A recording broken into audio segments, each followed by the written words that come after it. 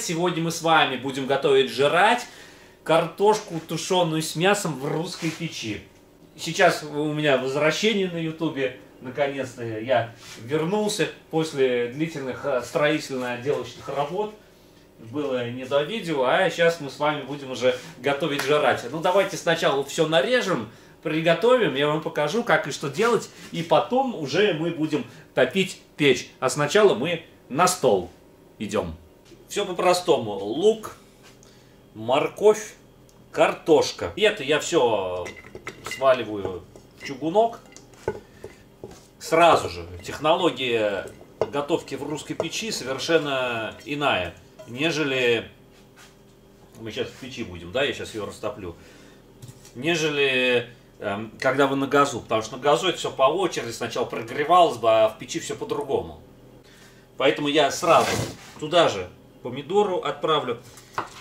К сожалению, у меня тут бардак, и я прошу извинения за бардак, потому что только что была закончена крыша, прям только, прям вот только-только день назад буквально, она была закончена. Убраться еще сил не было, да и некогда, и тут нужно тоже дальше кое-какие дела небольшие, доделочки такие идут. Именно поэтому видеовыпусков никаких не было. Ни про жратву, ни про еще что-то. Я ничего вообще не снимал, потому что занят был полностью стройкой, строительными делами. Сейчас все закончено.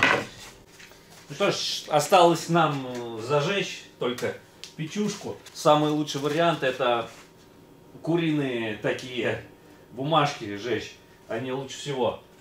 А если чисто по технологии, вы должны задуть, проверить тягу. Ну, тяга тут обалденный. 250-й дымоход должен быть у русской печи. 250-й. У меня был 130-й, 150-й. Бесполезно. И труба должна быть выше конька. Если она у вас посередине дома, делайте выше.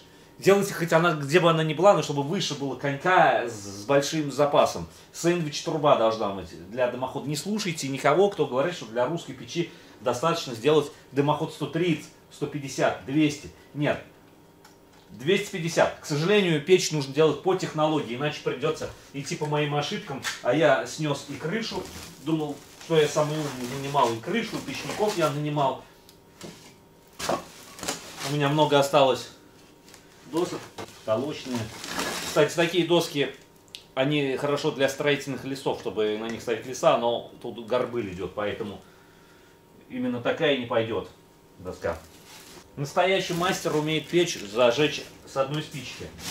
То, как у меня и получилось, я с одной спички э, зажигаю русскую печь. Ну что, ребят, отправляем наш чугунок. Готовится. У меня еще лепешка есть, я хочу лепешку испечь. Интересно, а получится, как в тандыре, если ее куда-то здесь прилепить? Сюда или куда-то к пламени? Как думаете? Реально ли, чтобы она прилипла? Я люблю сразу все делать. Сейчас еще поставлю печься хлеб. У меня он такой, как лепешка будет. К сожалению, форму я еще не нашел, где она у меня лежит. Для этого чугунок поставлю чуть-чуть дальше, но тоже ближе к, к пламени, чтобы хорошо кипело. И лепешку тоже. Туда же ближе к пламени. Все это хорошо должно закоптиться, поэтому я закрываю, чтобы там пошел процесс копчения, но не до конца, иначе пламя гореть не будет. Хлеб у нас почти готов, или уже готов. Я его сверху смажу маслом, чтобы он золотистый был. То, что он обгорел, это нормально как итальянская пицца. Он даже не обгорел еще. Но думаю, он сейчас еще обгорит немножко, позолотится немножко, и уже можно будет его вытаскивать. Вы когда-нибудь видели, как оно сверху прожарилось хорошо? В какой-нибудь мультиварке или на сковородке? В печи в русской нагрев идет со всех сторон. Слева, справа, сбоку, полностью везде. И поэтому вверху тоже идет очень хороший прогрев. Но я еще немножечко потомлю.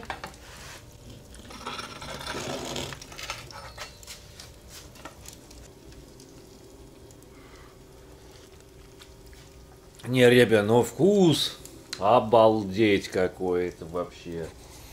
Сейчас у нас хлебушек еще сготовится.